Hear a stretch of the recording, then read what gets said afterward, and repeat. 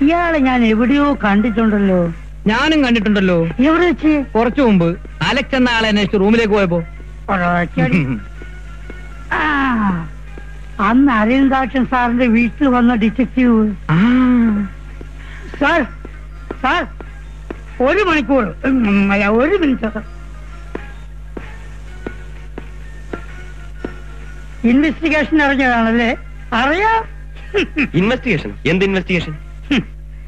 ഈ നാട്ടിലെ ഒരു പ്രമുഖ പത്രപ്രവർത്തകൻ എന്ന നിലയിൽ എന്നിൽ നിന്നും ആർക്കും ഒന്നും ഒളിച്ചു വയ്ക്കാൻ സാധ്യമല്ല.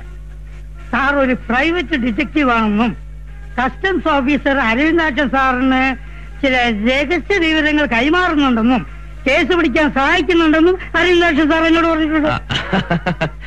അതൊക്കെ വെറും നിസ്സാര കാര്യങ്ങളല്ലേ? സാറിനെ കുറിച്ചുള്ള ഒരു ഇന്റർവ്യൂ ഞാൻ എന്റെ പത്രത്തിൽ പ്രസിദ്ധീകരിക്കാം. ഓൺ ദ വേ ഞാൻ എന്നെ പരിചയപ്പെടുത്താൻ മറന്നു. ഞാൻ വിശ്വനാഥൻ. വയലാർ വിശ്വനാഥൻ ഗർജിക്കുന്ന പടവാൾ പത്രത്തിന്റെ ആളിനാൾ തൽക്കാലം ഇന്റർവ്യൂ ഒന്നും വേണ്ട. അതെന്താ അതെന്താ? ഈ പ്രൈവറ്റ് ഡിറ്റക്റ്റീവിന്റെ ജോലി എന്ന് പറയുന്നത് വളരെ രഹസ്യമായ അന്വേഷണം നടത്തുന്ന. അത് പരസ്യമാക്കാൻ പാടില്ല. അതെന്റെ പ്രൊഫഷനെ ബാധിക്കും. അത് എന്നെ പോലെ വിവരമുള്ളവർക്കല്ലേ മനസ്സിലാവൂ. ഞാൻ വിക്രമൻ ഹോട്ടൽ സീവേഴ്സിന്റെ ഓണർ. ഹലോ? ആര് ആര്? ഓണർ നിർത്തിയിരിക്കുന്ന റിസപ്ഷനിസ്റ്റ്. അയ്യേ. ആ അത് പോട്ടെ. പിന്നെ അരവിന്ദാക്ഷൻ സാറ് സാറിനെ പ്രത്യേകിച്ച് അന്വേഷിച്ചിരിക്കാം. ഓ ഒരു റിവാർഡിന്റെ കാര്യത്തിനായിരിക്കും. പുള്ളിയുടെ കെയർ ഓഫിൽ സർക്കാരിൽ നിന്ന് എനിക്ക് ഒരു ട്വന്റി ലാക്സ് റുപ്പീസ് കിട്ടാനുണ്ട്. ട്വന്റി ലാക്സ്? അതെ. ട്വന്റി ലാക്സ് എന്ന് പറയുമ്പോ എത്ര കോടി രൂപയാ? വിട് വിട് വിട്.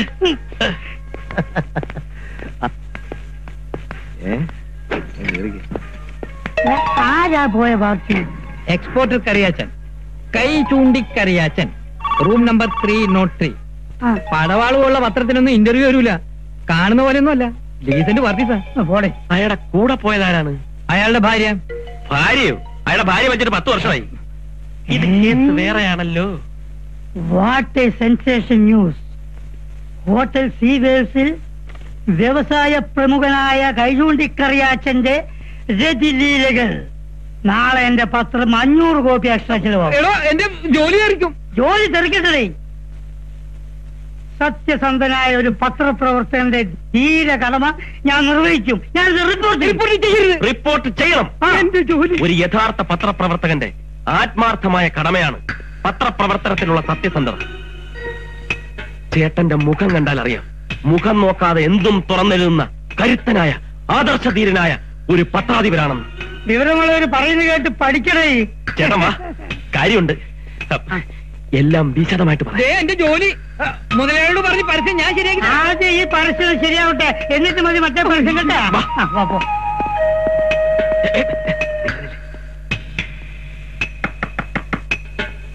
സാർ ചായ. ചായയോ? ഞാൻ ചായ ഓർഡർ ചെയ്തില്ലായിരുന്നല്ലോ. എന്നാലും ഒരു ചായ കുടിക്കണം സാർ. എന്നാലും ചായയോ? ആരടാ ഇവിടുത്തെ? എന്നാലും ചായ. ആ അത് കൊള്ളാം ഒരു മനുഷ്യനെ ഡിസ്റ്റർബ് ചെയ്യാ. ഒരു അത്യാവശ്യ കാര്യം പറഞ്ഞുകൊണ്ടിരിക്കുമ്പോഴാ ഇവന്മാരൊരു ചായ അയ്യോ അയ്യോ. ആ, ആ. നീ എന്താ ഇവിടെ? കാര്യമുണ്ട്. പറയാം. എന്ത് കാര്യം? എന്താണ് കാര്യം ആ, ഒരു സിംഗിളടി. ഓ, ദേ, മാറി, ഇങ്ങോട്ട് മാറി. ബഹളം ഉണ്ടാക്കാതെ ഫോട്ടോ എടുക്കാൻ സമ്മതിക്കില്ല. രണ്ടുപേരും ചേർന്നുള്ള ഫോട്ടോ എടുക്കുന്നുണ്ട്. ആ, ഇരുന്നേ. എന്ത് ആ, ഫോട്ടോ ഒരു- ഡബിൾ അടി. എന്റെ നെഞ്ചത്തിന് കാര്യം. എന്ത് എന്ത് ഫോട്ടോഗ്രാഫർ എന്തോ എന്തോ? എടാ നീ എന്ത് തെമ്മാടത്തരമാണ് ഈ കാര്യം? ബഹളം ഉണ്ടാക്കരുത്. പോലീസ് വന്നാലുള്ള സ്ഥിതി അറിയാമല്ലോ. പോലീസോ? എന്ത് ആ, പോലീസ്? അതെ പോലീസ്. എവിടെ? പോലീസ് അല്ല താഴേന്ന് ബഹളം കേട്ടാ ഞാൻ ഓടി വരുന്നത്. ദയവ് ചെയ്ത് നിങ്ങൾ ഈ റൂമൊന്ന് ഒഴിഞ്ഞു തരണം. എന്റെ ജോലി പോകുന്ന കേസാ. എടാ നിന്റെ ഉദ്ദേശം എന്താണെന്ന്? പറയാം. ഇദ്ദേഹം പടവാൾ പത്രം നാളത്തെ പടവാൾ പത്രത്തിന്റെ ഫ്രണ്ട് പേജിൽ നിങ്ങൾ രണ്ടുപേരും ഒരു ഫാമിലി ഫോട്ടോയും കൂടെ ഒരു ന്യൂസ് ഉണ്ടാവും. ചതിക്കരുത്. ചതിക്കരുത്. ഞാൻ എന്ത് വേണമെങ്കിൽ ചെയ്യാം. സാറേ എന്റെ മാനം പോകും. ഞാൻ കാൽ പിടിക്കാം. എഴുന്നേൽക്കണം. ഒന്നുമില്ലെങ്കിലും താരാ സെക്രട്ടറിയുടെ ഫാദർ അല്ലേ? വഴിയുണ്ടാക്കാം. ഒന്നും വന്നേ. എന്തിനാ? എന്തിനാ? അത്? ശരിയാവത്തില്ലെന്ന്. അതെന്തിനാ? ഇന്ത്യ ചതിക്കരുത്. സർക്കുലേഷനുള്ള പേപ്പറാണ്. എന്ത് കുഴപ്പം? ആകെ കൂടെ കുളമാവും ബാക്കി കാര്യം ഞാൻ ഏറ്റു. ഒന്നും പറയണ്ട. ഞാൻ ഏറ്റോ ഏറ്റല്ലോ ഏറ്റു. എന്തോ ചെയ്യും? ബാക്കി കാര്യം ഞാൻ പറയാം. ഇതിന്റെ സന്തോഷ സൂചകമായിട്ട് ഞാൻ ഒരു ഗംഭീര പാർട്ടി തരും. കാശ് അതെല്ലാം കൊള്ളാം. പക്ഷെ ഈ ഹോട്ടൽ വെച്ച് വേണ്ട. വേറെ ഏതെങ്കിലും നല്ല ഹോട്ടൽ വെച്ച്. ഓക്കെ. ആരുടെയും മുഖം നോക്കാതെ എല്ലാം തുറന്നെഴുതുന്ന ഒരു പത്രപ്രവർത്തകനാണ് ഞാൻ. എന്റെ പതിനാല് വർഷത്തെ പത്രപ്രവർത്തനത്തിനിടയിൽ സാധ്യമായി ഞാൻ എന്റെ പത്രത്തിന്റെ ചാരിത്രം നശിപ്പിച്ചു. എനിക്കിത് മറക്കണം. എല്ലാം മറക്കാൻ വേണ്ടിയല്ലേ നമ്മൾ ഇവിടെ കൂടിയിരിക്കുന്നത് അമ്മാവൻ തെറ്റിദ്ധരിക്കരുത്. ഞാനൊരു സ്ഥിരം മദ്യപാനിയൊന്നുമല്ല. കല്യാണത്തിന് ശേഷം ഇത് തൊടണമെങ്കിൽ അമ്മാവൻ പറയണം. പിന്നൊരു കാര്യം. അമ്മാവൻ ഇതൊന്നും പോയി താരെടുത്ത് പറയരുത്. പറയോ പറയൂ. ഇല്ല, ഇല്ല, പറയത്തില്ല. അപ്പോ നമുക്ക് എപ്പ കല്യാണം നടത്താം? നമുക്കോ? അതല്ല ഞാനും താരയും തമ്മിലുള്ള കല്യാണം എപ്പ നടത്താമെന്ന്? ആ ഇതെനിക്കൊന്ന് ആലോചിക്കണം. അയ്യ, അവിടെ ആലോചിച്ചോണ്ടിരുന്നോ? ആ തിങ്കളാസി ഫോട്ടോ ഉണ്ടല്ലോ വാരാപ്പുഴ കത്രീനിന്റെ വടിയിൽ കൈകൊണ്ട് കറിയാച്ചാൻ തലവെച്ച് കിടക്കുന്ന ഫോട്ടോ. നാളത്തെ പടവാളിന്റെ ഫ്രണ്ട് പേജിൽ ജഗ ജഗ ജഗ ജഗ ജഗ ജഗ ജഗ ജഗ. നമുക്ക് താന്റെ കൂടെ റൂമുണ്ടായിരുന്ന വരാപ്പുഴ കത്രീനകൾ എങ്ങനെയുണ്ട്? താൻ ഒതുക്കി തരുമായിരിക്കും ഹലോ താര? എന്തൊക്കെയുണ്ട് വിശേഷങ്ങൾ? ഷേക്കാൻ ഓ നമസ്കാരം. ഓഹോ ഇവിടം വരെ എത്തിയല്ലേ? എത്തേണ്ട അടുത്ത് എപ്പോഴായാലും എത്തിയല്ലേ പറ്റൂ. അകത്ത് ഡാഡിയുണ്ട്. No problem. ഒരു പുരുഷൻ ഒരു പെൺകുട്ടിയെ ഇഷ്ടപ്പെടുന്നത് അത്ര വലിയ തെറ്റൊന്നുമല്ലെന്നാണ് എന്റെ അഭിപ്രായം. താര എന്ത് പറയുന്നു? ഞാൻ ഡാഡിയെ വിളിക്കാം. അയ്യേ ഡാഡിയല്ല. ഞാൻ താരയാണ് സ്നേഹിക്കുന്നത്. ഡാഡിയുടെ അഭിപ്രായം കൂടി അറിയണമല്ലോ. ഓ എസ് വിളിക്ക്. അദ്ദേഹത്തിന് എന്നെ പറ്റി നല്ല അഭിപ്രായമാകാനേ വഴിയുള്ളൂ. അല്ലേ വേണ്ട. ഞാൻ തന്നെ വിളിക്കാം. ഒന്ന് മാറി നിന്ന്. അമ്മാവാ. അമ്മാവാ. ഉറക്കൊന്നും അല്ലല്ലോ. അമ്മാവാ. മോളെ താരാ. അതാരാ. അയ്യോ. ആരാ മനസ്സിലായില്ലല്ലോ. എന്നെ മനസ്സിലായില്ലേ? ഫാമിലി ഞാൻ പറഞ്ഞില്ലേ? ഇരിക്ക്. അല്ല അമ്മാവാ നമുക്കൊരു തീരുമാനത്തിലെത്തണ്ടേ? എന്ത് തീരുമാനം? അത് ശരി. കേട്ടോ നേരെ. ഇന്നലെ ഹോട്ടൽ സി വി എഫിൽ വെച്ച് ചിരിച്ച് ചിരിച്ച് ചിരിച്ച് ഈ അമ്മാവന്റെ ഓരോ വേലകളെ ഫാമിലി ഫോട്ടോ അമ്മാവാ. പറയണ്ട. സാരമില്ല അമ്മാവ. എന്നാലും ലോകം മുഴുവൻ അറിയാവുള്ളൂ അല്ലേ പറയണ്ട. വാ, എന്താ കാര്യം? അതായത് അതെ പറയണ്ട. ഞാൻ പറയും. പറയാൻ ഞാൻ സമ്മതിക്കില്ല. ഇത്തരം നിസാര കാര്യങ്ങൾ പോലും അമ്മാവൻ മകളിൽ നിന്ന് ഒളിച്ചു വെക്കുന്നത് ശരിയല്ല. വെക്കുന്നത് ശരിയല്ല. അതെ. അതെ. ഹോട്ടൽ സീവേഴ്സിൽ വേസിൽ വെച്ച് അമ്മാവൻ ഇന്നലെ ഒരു അക്കടി പറ്റി. ഞാൻ അമ്മാവനെ അതിൽ നിന്ന് സേവ് ചെയ്തു. ശരിയല്ലേ? അതെ. ഇതൊക്കെ ആർക്കും. പറ്റാവുന്ന അബദ്ധമല്ലേ? അതിന് അമ്മാവൻ ഇങ്ങനെ ചമ്മിയാലോ? ഏ? ഡാഡിക്ക് അങ്ങനെ അബദ്ധങ്ങളൊന്നും സാധാരണ പറ്റാറില്ല. അതുകൊണ്ടാ. ആണോ? ആ അഡ്ജസ്റ്റ്മെന്റ് വേണ്ട ഫാമിലി ഇന്നലെ അമ്മാവൻ പറഞ്ഞത് അങ്ങ് മറന്നുപോയോ? എന്തോന്നു? എന്നെ പോലെ സുന്ദരനും തൽസ്വഭാവിയും സ്മാർട്ടുമായിട്ടുള്ള ഒരു മരുമകനെയാണ് അമ്മാവന്റെ ഭാവനയിലുള്ളതെന്ന്. അല്ല അതത്ര പെട്ടെന്ന് പറയരുത് ഇത്തരം കാര്യങ്ങൾ പെട്ടെന്നൊരു തീരുമാനം എടുക്കാൻ ആർക്കും പറ്റില്ല. ലൈഫ് മുഴുവൻ നമ്മൾ ഒരുമിച്ച് ജീവിക്കേണ്ടതല്ലേ? അതുകൊണ്ട് ആലോചിച്ചൊരു തീരുമാനം എടുക്കാനേ പറ്റത്തുള്ളെന്ന് ഞാൻ പറഞ്ഞു. രാത്രി മുഴുവൻ ആലോചിച്ചു. ശരി അമ്മാവന്റെ ആഗ്രഹം അങ്ങനെയാണെങ്കിൽ അത് നടക്കട്ടെ. അല്ല അത് ഇവളുടെ ഇഷ്ടം കൂടി നോക്കണ്ടേ? അയ്യോ. അമ്മാവൻ ഇഷ്ടമാണോ? എനിക്കോ? എനിക്ക് ഇഷ്ടമാണ്. ഇഷ്ടമാണല്ലോ. അമ്മാവൻ ഇഷ്ടപ്പെട്ട സ്ഥിതിക്ക് താരെന്ത് പറയുന്നു? അത് മടിക്കാതെ പറഞ്ഞോളൂ. ഡാഡിക്ക് ഇഷ്ടമാണെങ്കിൽ എനിക്കിഷ്ടം. അതിനിടയ്ക്ക് ആ പടവാളുകാർ വന്നിരുന്നു. പടവാളോ? പത്രം അവർക്ക് ഈ ഫോട്ടോ വേണമെന്ന് ഫ്രണ്ട് പേജിൽ ഇടാൻ ഇരുപത്തയ്യായിരം രൂപ വരെ ഓഫർ ഉണ്ടായിരുന്നു. ഞാൻ പറഞ്ഞു പറ്റത്തില്ലെന്ന്. ചതിക്കരുത്. ചില കാര്യങ്ങൾ തീരുമാനമാകാനുണ്ട്. അത് നടന്നില്ലെങ്കിൽ തരാമെന്ന് പറഞ്ഞു. നടക്കും. ഉറപ്പ്? ഉറപ്പ്. ടൈമായില്ല? അഗ്നിപർവതം പുകഞ്ഞു. ഭൂചക്രവാളങ്ങൾ യശോദേ അയ്യന്റെ കോട്ട് ആകപ്പാടുള്ളൊരു കോട്ട. കോടതി കേറാത്തവനെ ഈ കോട്ടെന്തിരാ നിങ്ങൾ പോണ പണിക്ക് പ്രത്യേകിച്ച് ഡ്രസ് കോഡൊന്നും ഇല്ലല്ലോ. ഏത് തുണിയായാലും മതി. ഇനി അഥവാ തുണി ഇല്ലെങ്കിലും പ്രശ്നമൊന്നുമില്ല. അതെന്ത് പണിയാ? ഓ ഇനി അതും കൂടി ഞാൻ പറഞ്ഞു തരാം. തോന്നിയ ദിവസം കാണിച്ചും പോരാ. വെളച്ചിനും കൂടെ. ഇപ്പൊ ഞാൻ കാണിച്ചു തരാം. യശോദ വേണ്ട. തന്റെ കോഴിത്തരം ഞാൻ ഇന്നത്തോടെ നിർത്തും.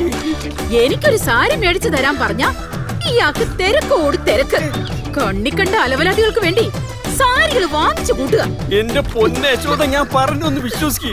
അത് കോടതി കൊടുക്കാനുള്ള തൊണ്ടിയാ. തമ്പിച്ച ഇന്നലെ കാറിൽ വെച്ച് മറന്നതാ. നോക്ക് കത്തിച്ച ആ പാവത്തിന് തൊപ്പി തീർക്കിയേ സ്റ്റിക്കർ പോലും ഇളക്കിയിട്ടില്ല തൊണ്ടി പോലും. കണ്ട പോക്കൃത്തിന് മൊത്തം കാണിച്ചിട്ട് നാട്ടുകാരുടെ മുമ്പിൽ അയാളുടെ ഡീസന്റ്. ഞാൻ ഭ്രാന്തി സംശയ രോഗി ഗുഡ് മോർണിംഗ് ഓ എത്തിയല്ലോ എന്റെ ഭാര്യ പിന്നെയും പൊക്കി. രക്ഷിക്കാൻ പറ്റുമെന്നൊന്നും. ഡോ വക്കീലേ തനിക്ക് ആരോടും എൽ എൽ ബി വന്നത്. കാറിന്റെ മേലാണോ തൊണ്ടി സാധനങ്ങൾ സൂക്ഷിക്കുക എന്നെ പൊട്ടിയാക്കാനൊന്നും നോക്കണ്ട. നിങ്ങൾക്കെന്താ? നിങ്ങളുടെ നിങ്ങളുടെ വണ്ടിയുടെ ഡിക്കിയിൽ സൂക്ഷിച്ചാൽ? അയ്യോ എന്റെ പൊന്നു പെങ്ങളെ. ഇവിടെയാണെങ്കിൽ തുണിയും കാറും കത്തിച്ച് കളിക്കുള്ളൂ വസുന്ധരയുടെ കയ്യിൽ ഇത് കിട്ടിയാലേ? ദേ ഇങ്ങനെ പൊതിഞ്ഞിട്ട് എന്നെയും ചേർത്ത് കത്തിക്കും. ഓട്ടടോ പരട്ട വക്കീലെ.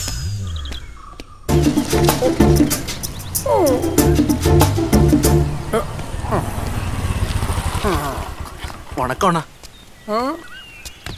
വണക്കം. എന്താടാ കൊട്ടേഷൻ പണി വല്ലതാണോ അല്ലണ്ണ ചുമ്മാ ഇതുവരെ. ആ പോ പോ പോ പോ. ആ. ആ.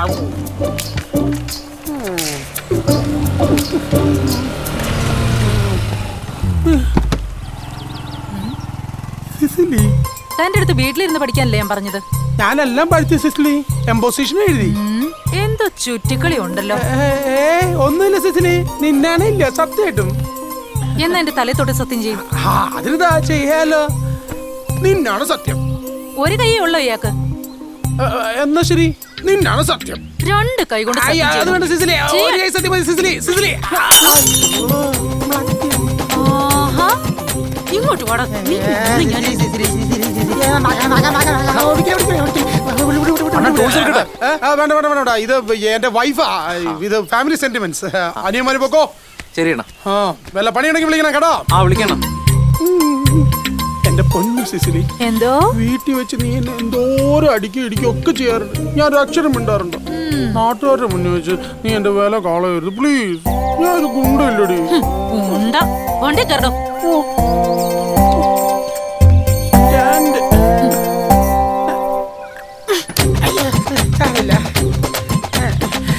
ഞാൻ പിടിച്ചിരിക്കും കേട്ടോ.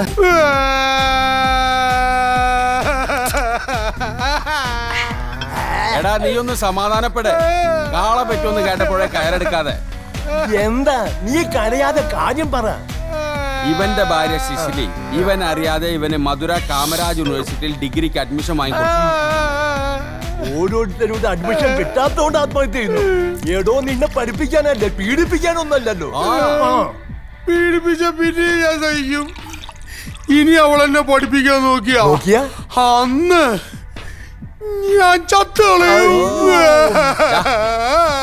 സിസിലി അറിയാതെ ഈ അഡ്മിഷൻ ക്യാൻസൽ ചെയ്യാൻ വല്ല വഴിയുണ്ടോ? വക്കീലെ. ഏ, വക്കീലേ? ആ, വക്കീലെ.